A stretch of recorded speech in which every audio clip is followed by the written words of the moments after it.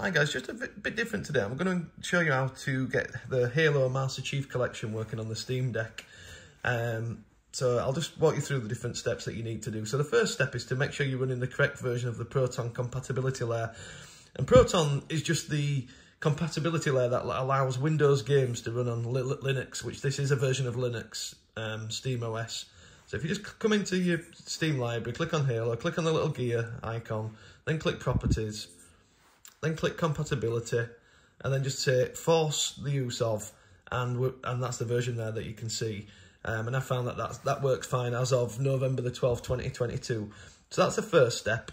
The next step is to just adjust your audio. Because what I was finding is um, Halo was, would launch, uh, but there'd be no hard audio once you got beyond the menus. Um, so to do that, you need to be in the desktop mode. So I'll just show you how to do that. So go into Steam button, power, switch to desktop.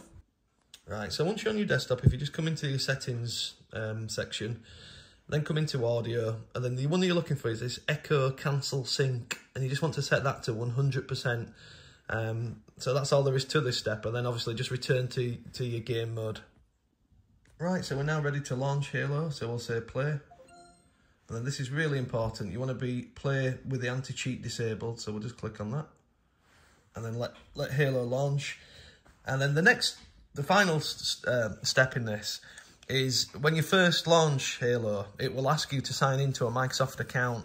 Um, so just make sure you've got a Microsoft account, obviously. And then you just need to bring up the keyboard to be able to do that. So to do that, you just hold down the Steam button and the X button, and that'll bring up the keyboard. It, I won't be able to do it here because I've already logged in, so it won't ask me to do it. So that's just the Steam button. You hold down the Steam button and press the X button. Like if you if you click here now, if you aren't logged in, it'll, it'll prompt you to log in. You don't have to do it the first time you, you come in. Um, and like I say, you just hold down the Steam and the X button, and then that'll bring the the keyboard up from the bottom, and you can just sign into your Microsoft account. And then from then on, I found it works absolutely flawlessly.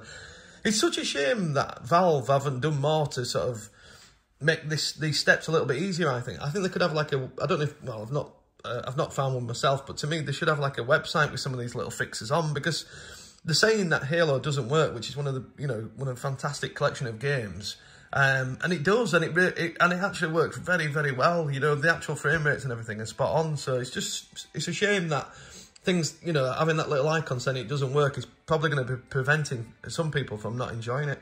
Okay, anyway, I hope that's useful.